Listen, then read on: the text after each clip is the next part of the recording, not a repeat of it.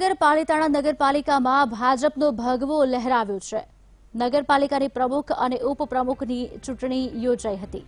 પ્રમુખ પદે જયપાલસિંહ ગોહિલની વરણી થઈ છે. ચૂંટણીને લઈને પોલીસનો ચુસ્ત બંદોબસ્ત ગોઠવાયો હતો. ચૂંટણી સમયે કોંગ્રેસના નગરસેવક ઓમદેવસિંહ રિવોલ્વર લઈને આવતા બહાર મુકાઈ હતી. આજ અંગે વિગત આપશે અમારા સંવાદદાતા નીતિન અમારી સાથે ફોનલાઈન પર જોડાયા છે. નીતિન, શું વિગતો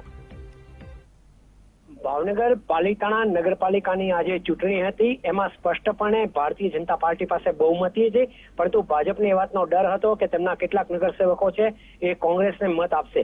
એ વાત હતી. અને બીજી બાજુ કોંગ્રેસના ચાર નગરસેવકો છે, એ છેલ્લા ચાર દિવસથી ગુમ થયા હતા. આ બધી વાતોને લઈને આજે જયારે સવારે અગિયાર કલાકે પાલિતાણા નગરપાલિકાની ચૂંટણી યોજાણી, ત્યારે કોંગ્રેસના એક નગરસેવક જે છે, ઓમદેવસિંહ ગોયલ કરીને અને તેઓ પોતાની રિવોલ્વર લઈને આવ્યા હતા, પરંતુ પોલીસની નજર તેમની તરફ જતા, પોલીસે તેમની જે આ રિવોલ્વર હતી એ બહાર મુકાવી હતી અને ત્યારબાદ તેમને સભાગૃહમાં પ્રવેશ આપ્યો હતો. એટલે એકદમ ચર્ચાસ્પદ રહેલી આ પાલિતાણાની ચૂંટણીમાં, આમ જોવા જઈએ તો ભાજપે ફરી એક વખત સત્તા જાળવી રાખી છે અને શાંતિપૂર્ણ વાતાવરણમાં ચૂંટણીની પ્રક્રિયા પૂર્ણ થઈ છે.